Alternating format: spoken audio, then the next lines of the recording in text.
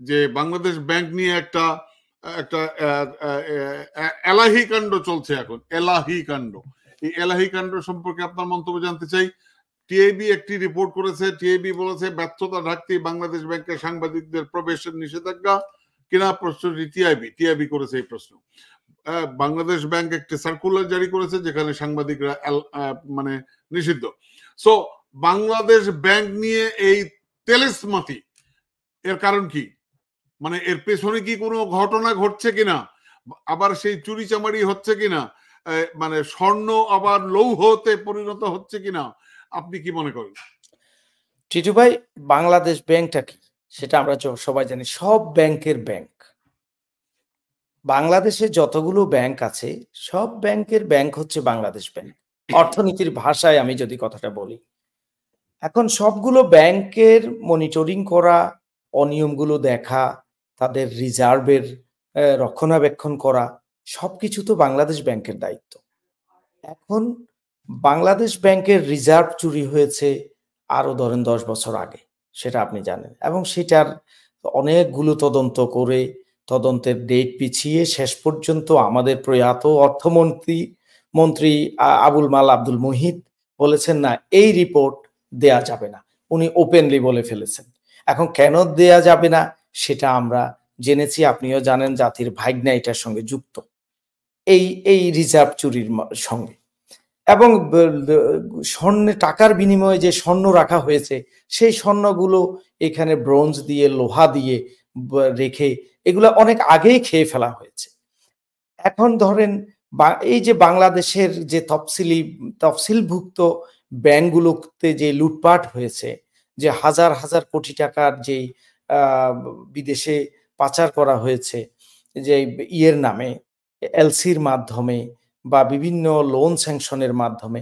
আপনি জানেন গত বছর নভেম্বরের একটা নিউজ একটা মেট্রিক পাস ছেলের নামে পনেরো দিন আগে অ্যাকাউন্ট ওপেন করে তার তার নামে পনেরোশো কোটি টাকা লোন স্যাংশন করে সেই পনেরোশো কোটি টাকা রাতারাতি ইসলামী ব্যাংক থেকে সরিয়ে ফেলা হয়েছে, বরাদ্দ দেওয়া হয়েছে। এবং সেই ছেলের এনআইডি পর্যন্ত ফাইলে নাই। তার পরিচয় কি? কোথা থেকে এসছে? অর্থাৎ এই লোন স্যাংশনের পনেরো দিন আগে কোম্পানিটা রেজিস্ট্রি হয়েছিল। এগুলা তো একটা বাচ্চা ছেলেও অনুমান করতে পারে, এটা কারা করছে? কে করছে? সুপার পাওয়ার বাংলাদেশের শীর্ষ ক্ষমতাধর যিনি আছেন, তিনি ছাড়া এই কাজ তো কোনো মন্ত্রীর পক্ষেও সম্ভব না। একজন মন্ত্রীও করে এটা হজম করতে পারবে না। এখন এই যে বিভিন্ন bank, Islami bank, basic bank, Sonali bank, Janata bank অন্যান্য ব্যাংক থেকে যেভাবে যে টাকাগুলো খেয়েছে, এখন এই ব্যাংকগুলো অনেকগুলো ব্যাংক আপনার রুগ্ন এবং দেউলিয়া হওয়ার পথে, দেউলিয়া হয়ে গেছে অলমোস্ট আনঅফিসিয়ালি দেউলিয়া অফিসিয়ালি ডিক্লারেশন দেওয়া হচ্ছে না।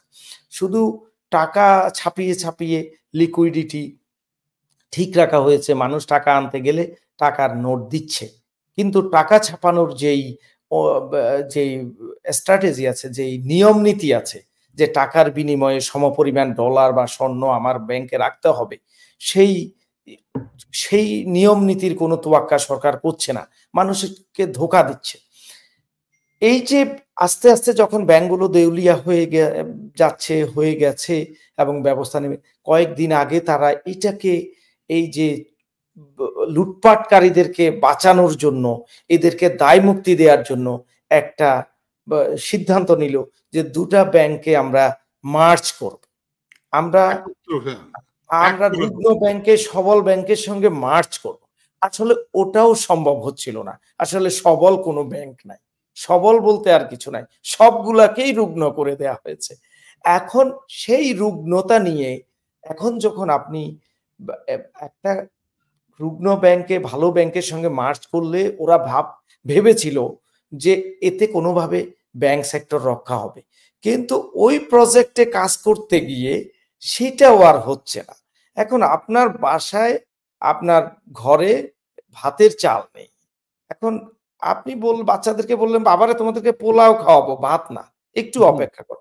এখন আপনি পোলাওর ভান্ডারে দেখলেন যে পোলাওর চালও নাই। তাহলে কি খাওয়াবে? এখন দেখল যে টোটালি খালি। বাংলাদেশ ব্যাংকের স্ট্যাটিস্টিক সবই খালি।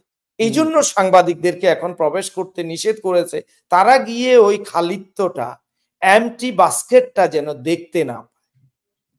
এই এমটি বাস্কেটটা দেখে ফেললে জাতির সামনে আরও নিউজ লিক হবে। দেশে যদি ওরা প্রচার করতে না পারে বিদেশের মাধ্যমে আমাদের মতো সোশ্যাল মিডিয়ার মাধ্যমে এটা প্রচারিত হবে, বিশ্ব জানবে এবং ওয়ার্ল্ড ব্যাংক বা অন্যান্য দেশের আন্তর্জাতিক সংস্থাগুলোকে যেভাবে চোখে ধুলো দিয়ে বিভিন্ন রং স্ট্যাটিস্টিক্স দিয়ে তাদেরকে কোনো রকমে ছল চাতুরি করে যেভাবে টিকে আছে, সেটা হয়তো সেটা থেকেও এখন বাঁচার চেষ্টা হচ্ছে, আসলে বাঁচতে পারবে না। মানে আপনি বলতে চাচ্ছেন যে তারা কোনো আকাম করেছে? সেই আকামটাকে ঢাকার জন্যই সাংবাদিকদেরকে নিষিদ্ধ করেছে। এটাই তো বলতে চাচ্ছেন। এটাই এটাই এটাই। আকামগুলো এত বেশি মাত্রায় অর্থাৎ গোপন করার মতো আর কোনো সুযোগ নাই। সাংবাদিক সাংবাদিক যাওয়া ওই বিল্ডিং এ ঢুকাটাই নিষেধ। আপনি বুঝতে পারেন অর্থাৎ ঢুকলেই আকামগুলো দেখতে পাবে। আপনি একটা রাস্তা দিয়ে হেঁটে যাচ্ছেন কারও বাসায় লাশ না লাশ রাস্তায় পড়ে আছে। যার জন্য ওই রাস্তায় ঢোকা নিষেধ। অনেক ধন্যবাদ আপনাকে।